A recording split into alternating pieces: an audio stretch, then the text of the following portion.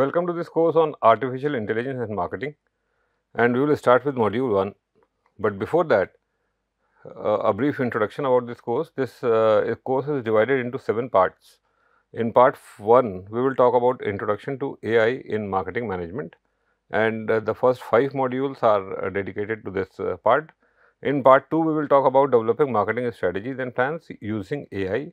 So, module 6 to 14 will be covered in the second part. In the third part, we will talk about AI for marketing research and module 15, 16 and 17 uh, uh, will be talking about AI for marketing research. In part 4, we will talk about connecting with the customers and module 18 to 25 will be talking about part 4. In part 5, we will talk about building strong brands using artificial intelligence and module 26 to 31 are covered in part 5. In part 6, we will talk about AI for designing, delivering and communicating value and module 32 to 55 are dedicated to understand the role of AI for designing, delivering and communicating value and in part 7 that is ethics in AI and we will talk about the ethical concerns in using AI. So, module 56 to 60 are covered in this uh, part. So, we will start with first chapter and module 1 that is understanding basics of AI in marketing that is part 1. So, the module in this module we will talk about the introduction to how AI is being used by the industry along with a case study, what is marketing and the various marketing offerings, what is marketing environment and what are its components, how marketing has evolved over the years from version 1 to version 5. So, to start with the introduction, if big data is the new oil, analytics is the combustion engine. Data is only of benefit to business if it is used accordingly and capitalized. Analytics and AI increasingly enable the smart use of data and the associated automation and optimization of functions and processes to gain advantage in efficiency and competition. In the recent years, AI has catered for an immense leap in development in business practice.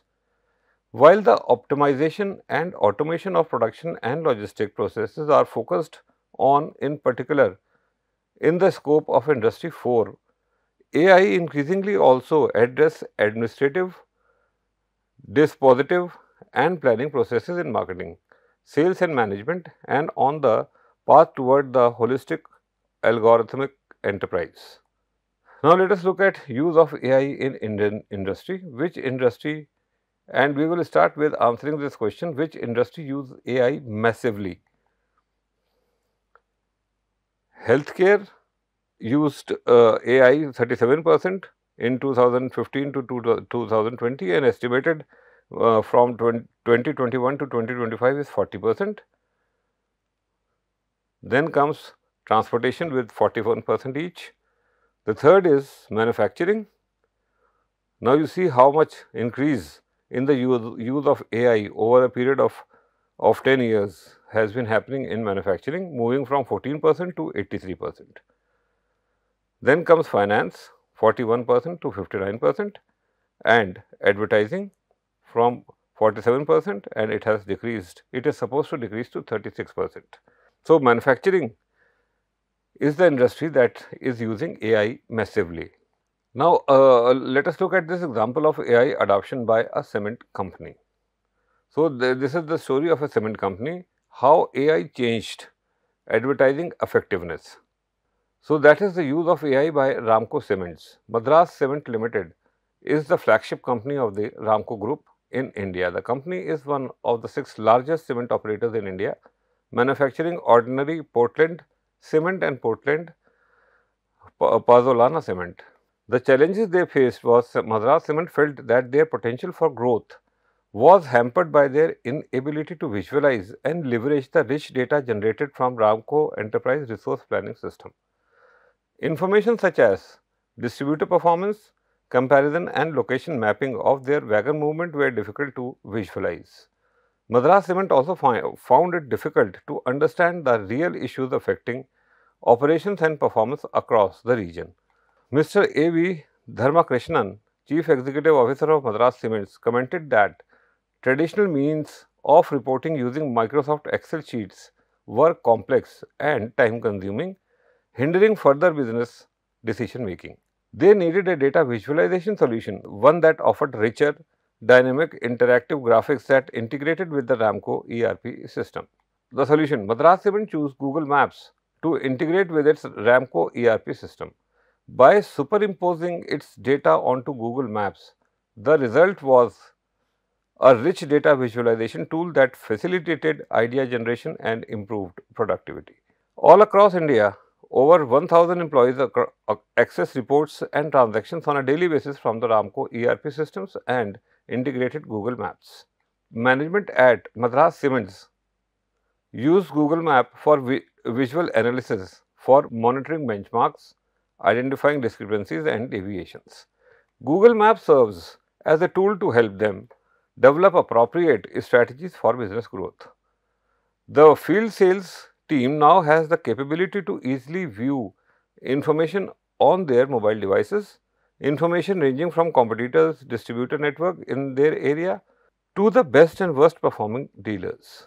This not only enabled them to make faster sales strategies on the go, it also helped management improve their market penetration strategy and competitiveness as they could locate their cement warehouses and key customers on Google Maps vis-a-vis -vis critical operation information, empowering them to devise effective supply chain strategies and enhance customer service. Google Maps helped uh, illustrate data at various levels of detail. For example, which regions were experiencing strong growth, which dealers were performing best or had the most potential for growth. Now, let us look at the results keeping logistic costs low is a critical success factor in the cement manufacturing industry. Google Maps together with their in-house SMS notification system and Ramco ERP solutions formed a solid communication infrastructure. This has helped the Madras Cement reduce penalties, losses and damages arising during the wagon clearance process by up to 70 percent and improved consignment clearance time by up to 40 percent. Google Maps also made it easier to identify and analyze performing markets with the potential for growth. Since implementing Google Maps, the company has successfully captured 20 to 30 percent of market share of these markets. While the same information can be put in the Excel sheet or Word, Dharma Krishna shared that he can better appreciate the data which is visually uh, presented on Google Maps. Now, let us look at the artificial intelligence. So, this is AI word cloud. Before that, let us look at what is marketing. So, marketing is about, uh, about identifying and meeting human and social needs. And as American Marketing Association defines it, marketing is the activity, set of institutions and processes for creating, communicating, delivering and exchanging offerings that have value for clients, customers, partners and society at large. So, now let us look at this, these offerings. So, what are these market offerings? The various types of market offerings are 1. Events, second is experience, third persons, properties, organizations, information, idea and services. So, these are the 8 offerings that we are talking about 1, 2, 3, 4, 5, 6, 7, 8. So, these are the 8 offerings that we are talking about. Now, let us look at what are services. As economies uh, advance, a growing uh, proportion of their activities focuses on production of services. Services include the work of airlines, hotels, car rental firms, barbers and beauticians, maintenance and repair people, and accountants, bankers, lawyers, engineers, doctors, software programmers and management consultants. Many market offerings mix goods and services such as fast food, meal. Events are marketers, they also promote time based events such as major trade shows, artistic performance and companies anniversaries.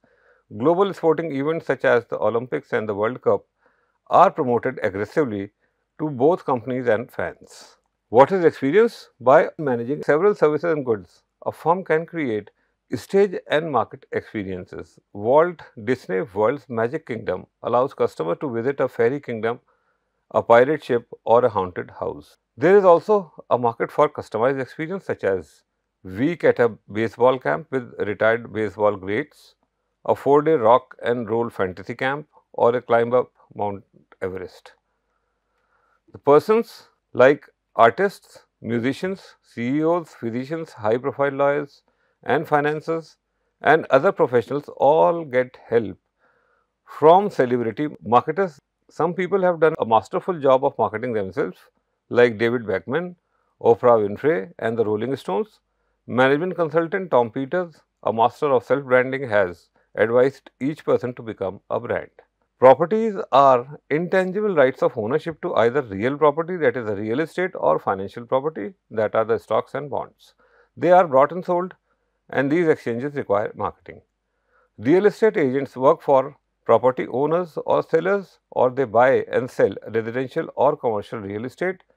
Investment companies and banks market securities to both institution and individual investors. Organizations Organizations work to build a strong, favorable and unique image in the mind of the target public. In United Kingdom's Tesco, every little helps. Marketing program reflect the food marketer's attention to detail in everything it does within the store and in the community and the environment. The campaign has vaulted Tesco to the top of the UK supermarket chain industry. Universities, museums, performing art organizations, corporations and non-profit all use marketing to boost their public image and compete for audience and fund. Information, the production, packaging and distribution of information are major industries. Information is essentially what books, schools and universities produce, market and distribute at a price to parents, students and communities. Ideas, every market offerings include a basic idea. Products and services are platforms for delivering some idea or benefit. Social marketers are busy promoting such ideas as friends don't let friends drive drunk and a mind is a terrible thing to waste. The next is the marketing environment and it consists of the task environment and the broad environment. The task environment includes the actors engaged in producing, distributing and promoting the offerings. These are the company, suppliers, distributor, dealers and target customers. In the supplier group are material suppliers and service suppliers such as marketing research agencies, advertising agencies, telecommunication companies etc. Distributors and dealers include agents, brokers, manufacturers, representatives and others who facilitate finding and selling to customers. So, that is the task environment. Next comes the broad environment. So, marketing management has two and uh, broken down into two task and broad we have talked about task in the last slide. Now, we are talking about the broad environment. It consists of six components demographic environment, economic environment, social cultural environment, natural environment, technological environment and political legal environment. Marketers must pay close attention to the trends and development in these and adjust their marketing strategies as needed. New opportunities are constantly emerging that awaits the right marketing savvy and ingenuity. Now, we will look at the evolution of marketing. Although there are different thoughts on when marketing came to exist as a discipline, the majority of specialists agree that it began during the time of industrial revolution, somewhere around the late 18th and early 19th century. Since then, it has been continuously evolving from marketing 1 to 2 to 3 to 4 to 5. So, there are two main factors that can be considered as the drivers of marketing evolution. So, marketing technology and customer needs. So, one is marketing technology and the second is consumer needs. The intersection of these two factors is the major reason why marketing as a business philosophy has been evolving. According to Philip Kotler, marketing has evolved in several stages where each stage has different philosophy, objective, dominant focus and practices.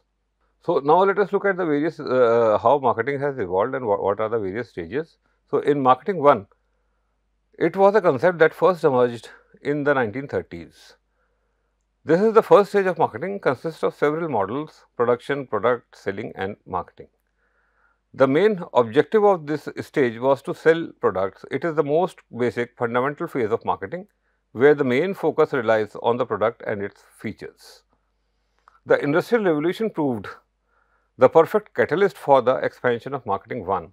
It provided a situation where there was a boom in the needs of the consumers and thus there was a drastic increase in both the demand for the product and the competition among the businesses.